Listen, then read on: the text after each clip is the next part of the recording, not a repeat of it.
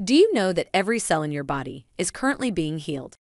Watching this lovely and meaningful video will take you one step closer to finding your true love. Let's get this party started. If you could give your undivided attention to where you're going, if you could start playing the isn't it nice game or the won't it be nice game or isn't this a lovely thing or look at these positive aspects, if you could start training yourself to be more of a match to what you're putting into your vibrational escrow, you'd feel wonderful and your relationship would be morphing into that.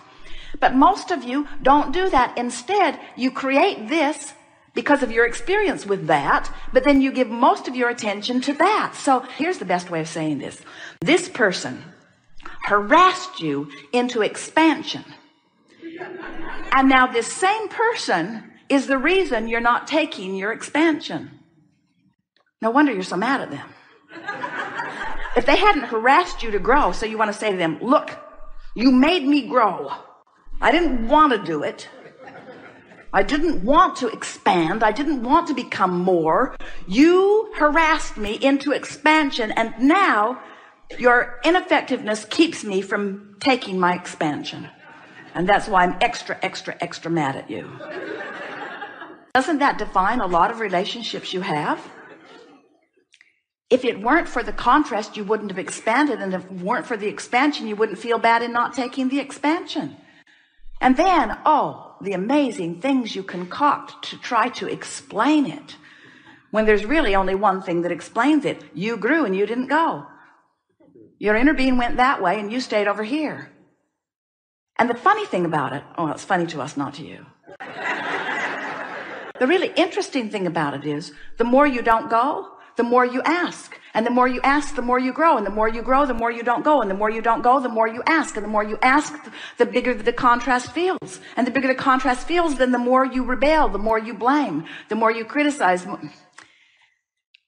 You might as well give it up because you can't stop expanding. You might as well just let go. Let go of the struggle. Let go of control. Let go of trying to get others to be better so that you can feel better.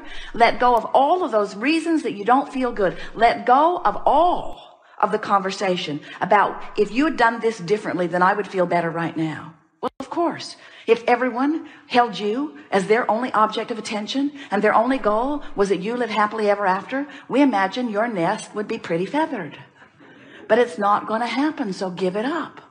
All of you were born to feather your own nest. All of you were born to create a magnificent nest of creation and to move yourself into vibrational alignment with it. I could put my two cents worth in and be blessed, or I could put my two cents worth in and be cursed. It could go either way. And we want you to realize that you are the creator of your reality and everyone else is too.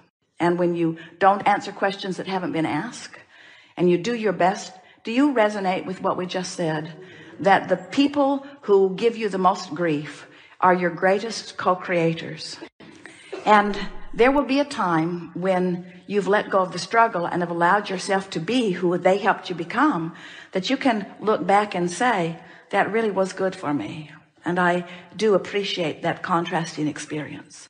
And what we want to submit to you is, why not look back now in the midst of the contrast and try to feel that way a little more.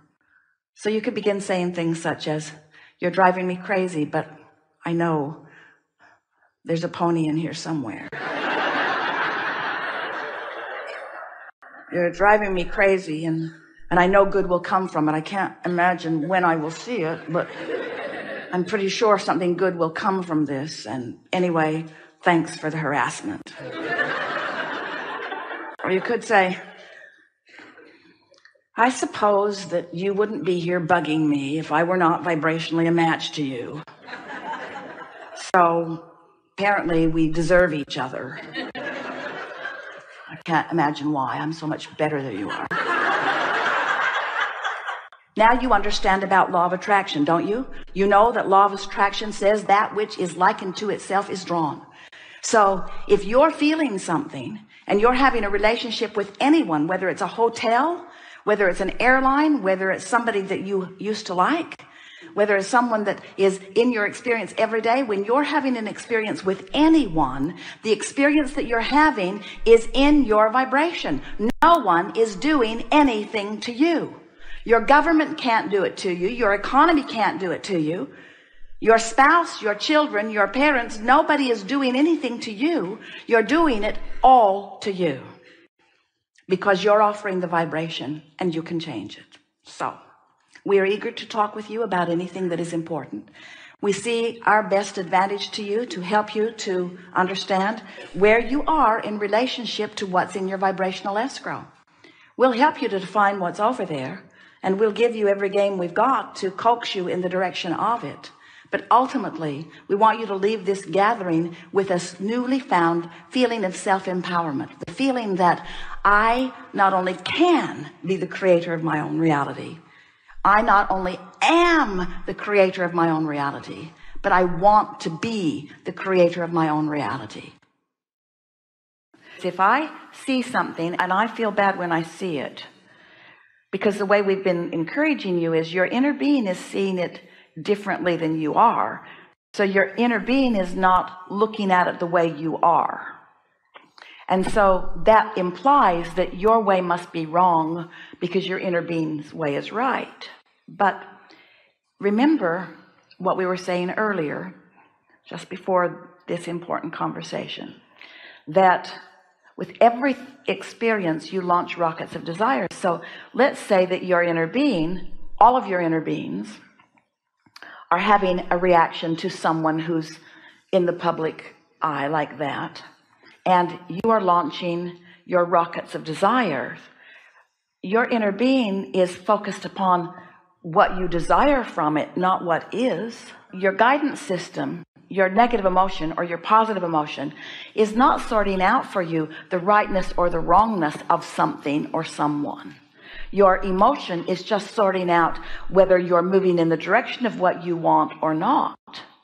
And so when you see someone who is behaving in ways that upset your sense of right and wrong and you launch rockets of desires that you would prefer that it be different your inner being rides that rocket and sees the difference even though it's not evidenced by the behavior of the president. So your only discord is that you keep seeing him as he is physically as you perceive him to be rather than as your inner being perceives him to be vibrationally. So if I let go of my resistance to him I will not see a different version of him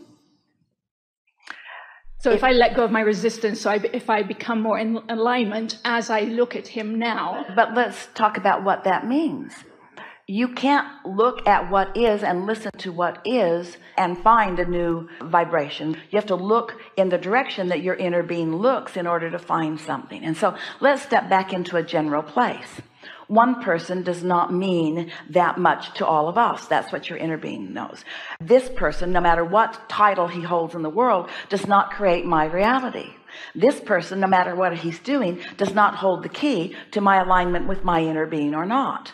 This person and all of the shenanigans that uh, some are witnessing and pushing against and others are witnessing and embracing this person is causing lots of rockets of desires. I've launched some rockets of desires and my negative emotion in response to what I'm observing or in response to what I am hearing from someone else who is observing it is only indicating whether I am in alignment with my version of what I want or not period. We would like you to know that the object of attention which seems so important and this particular person wants to be all important to all of you this particular person seeks your attention and your approval as much as any person who's ever walked the earth but that is a really big point for all of you. You cannot let just because they want your attention it be your duty to give your attention to them. Thank you for stopping by to watch this video. Make sure to subscribe for the next video.